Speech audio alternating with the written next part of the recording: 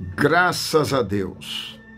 Meus queridos e amados, aqui é o pastor Sérgio Sora e eu estou aqui mais uma vez através das nossas redes sociais, através do nosso canal no YouTube, através do nosso Facebook, a nossa página eu estou aqui através também do nosso aplicativo IEVEC, Igreja Vida em Cristo, para falar a respeito deste culto a partir das três da tarde deste domingo, 20 de fevereiro.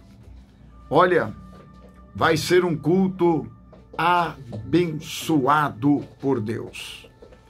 Vai ser um culto muito forte, muito, muito forte, porque nós estaremos em o nome de Jesus Cristo entregando a carta de afronta.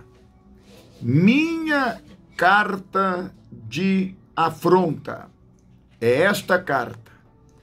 Minha carta de afronta você que já pegou a sua carta, não se esqueça de escrever aquilo que você vai afrontar, aquilo que você já não aceita mais. Eu quero dizer para vocês que o povo de Israel estava vivendo momentos de angústia, momentos de afrontas pelo rei Senaqueribe. Que rei maldoso era este rei? Que rei maldoso era o rei Senaqueribe? E a Bíblia nos diz que ele chegou a afrontar o nome do nosso Deus Senaqueribe chegou a afrontar o nosso Deus. Eu quero dizer para você, meu amigo, minha amiga, meu irmão, minha irmã, que nós vamos, neste domingo, afrontar os nossos problemas. O povo de Israel, eles se levantaram quando o rei Senaqueribe chegou a afrontar o nosso Deus. Eles falaram em 2 Reis 19, 16, estas palavras: Inclina, Senhor, o teu ouvido e ouve. Abre, Senhor, os teus olhos e olha e ouve as palavras de Senaqueribe, que enviou a este para afrontar o Deus vivo. Gente, povo de Israel pediu para Deus fazer justiça, pediu para Deus se levantar contra Senaqueribe, para que Deus visse a afronta daquele homem contra o seu povo e contra o próprio Deus. Eu quero dizer, meu irmão, que chegou a hora de você reagir. Chegou o momento de reagir.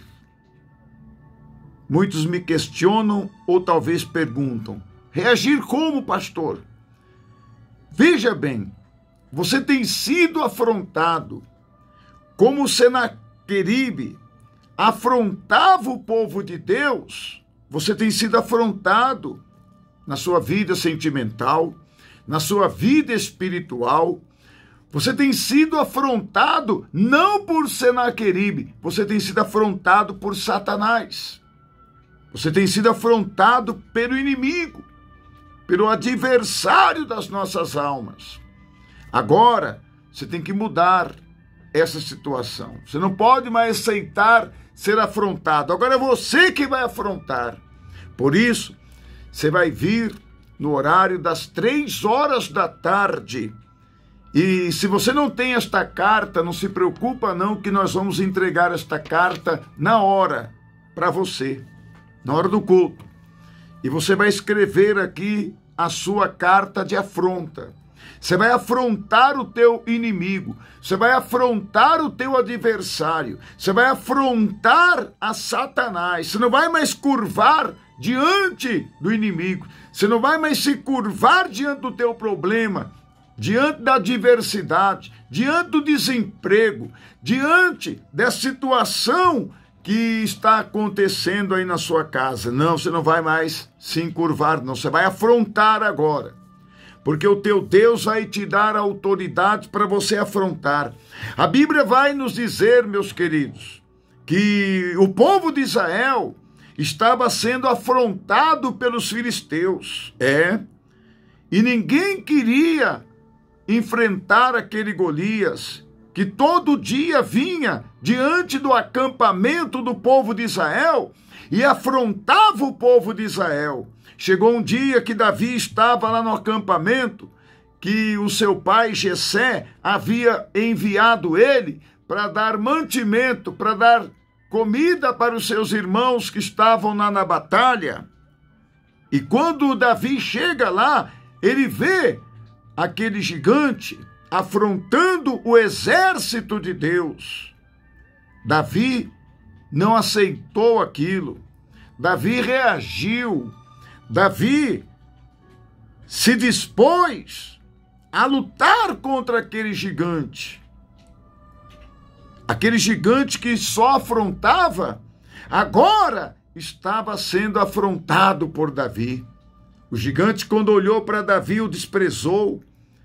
Mas Davi não teve medo das afrontas do inimigo. É assim que nós temos que fazer. Nós não podemos ter medo das afrontas.